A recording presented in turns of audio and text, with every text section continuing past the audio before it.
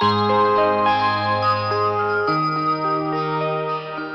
mừng toàn thể các bạn đã đến với chương trình radio tư vấn online của công ty tư vấn du học Tân Đại Dương là công ty tư vấn hàng đầu Việt Nam với nhiều năm kinh nghiệm trong lĩnh vực tư vấn du học và du lịch các nước.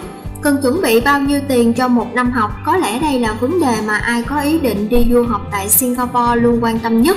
Không những thế mà còn rất nhiều vấn đề khác cần xem xét trước khi quyết định du học như là học phí bao nhiêu, tiền ăn ở ra sao, nên chọn trường nào cho phù hợp, muốn xin học bổng tại trường có khó hay không.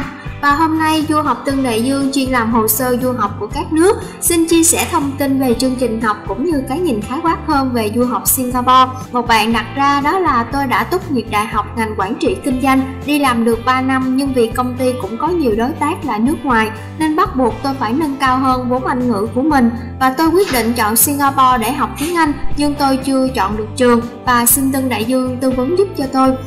Và chào bạn, hiện nay cho dù bạn làm việc ở bất kỳ ngành nghề nào về tinh học, kỹ thuật, du lịch hay quản trị kinh doanh, nếu bạn có một khả năng giao tiếp tiếng Anh tốt thì xác suất thành công của bạn là khá cao. Đặc biệt với những người làm ngành nghề về dịch vụ thì tiếng Anh giao tiếp càng đặc biệt quan trọng. Trong môi trường giao dịch và làm việc với đối tác nước ngoài, bắt buộc khả năng sử dụng ngôn ngữ tiếng Anh thật sự thành thạo và đó là một điều khó khăn đối với những người học tiếng Anh giao tiếp cơ bản. Singapore cũng có rất nhiều trường đào tạo tiếng Anh nên nhiều bạn rất phân vân làm sao để chọn cho mình một ngôi trường phù hợp, học phí vừa phải.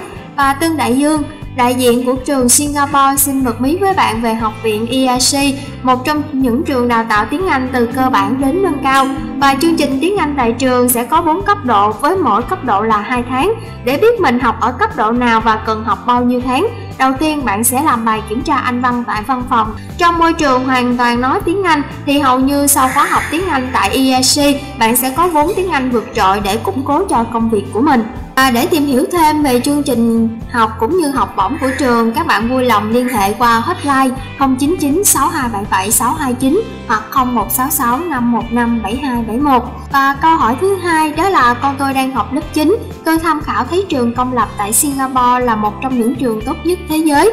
Vậy yêu cầu để được vào trường công lập tại Singapore thì yêu cầu như thế nào? Nếu không đủ điều kiện có cách nào khác để vào được trường công lập?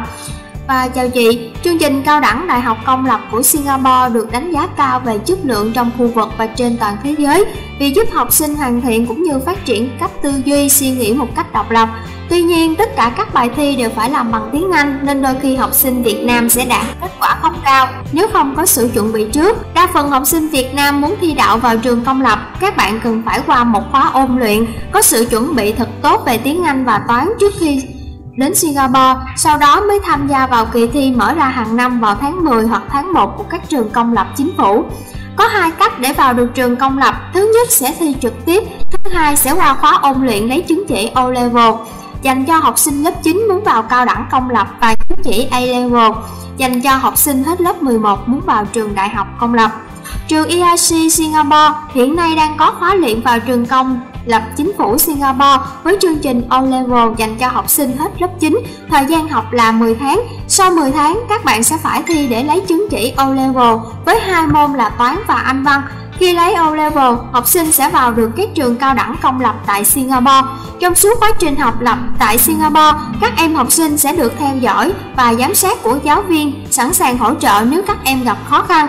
Mọi hoạt động của học sinh sẽ được thông báo đầy đủ và nhanh chóng tới quý phụ huynh trong suốt thời gian học. Để tìm hiểu rõ hơn về thông tin học phí, điều kiện nhận học bổng của các trường tại Singapore, các bạn hãy liên hệ ngay với đại diện của trường EIC tại Việt Nam, công ty du học Tân Đại Dương qua hotline 099 6277 629 hoặc 0 65157271 và hiện nay, công ty Tân Đại Dương chỉ có 3 nơi và không có chi nhánh ở các tỉnh phía Bắc. Các bạn vui lòng cập nhật vào các website của công ty để tìm hiểu rõ hơn về chương trình du học của các nước đó là tân đại dương.edu.vn và tddvn.com.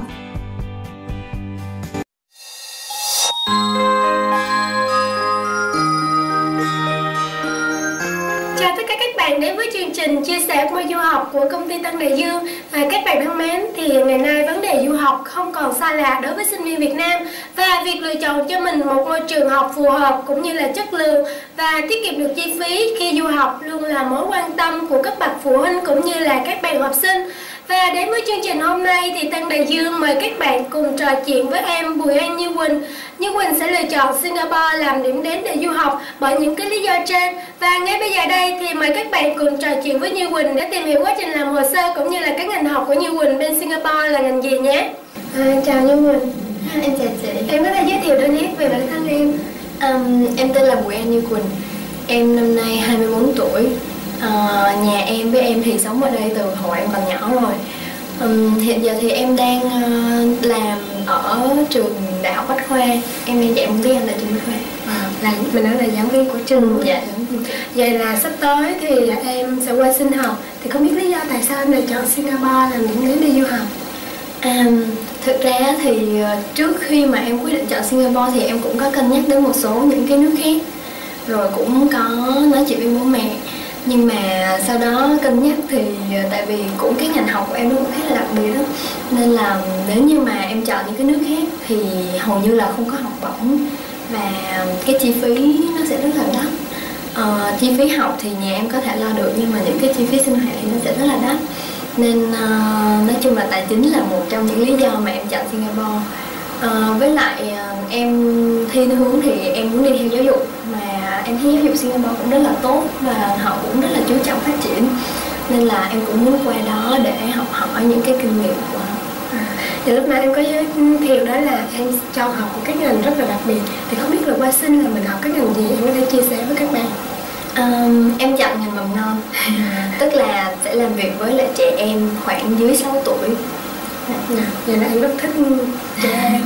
Thì từ qua đó mình sẽ học ở trường nào? Em um, nó là một cái học viện nó tên là MMI um, thì đây là một cái trường nó cũng có ở có mặt ở rất là nhiều nước và nó đào tạo giáo viên mầm non đào tạo các chương trình mầm non và nó cũng là một cái trường mầm non luôn. Nên là em hy vọng là nếu như mà em học ở đây được thì em có thể ở lại làm Vậy đến trong tương lai của mình là sau khi học xong thì mình có thể là xin lại là việc bên trường ừ. qua đâu mình biết về dịch vụ của Tân Đại Dương em.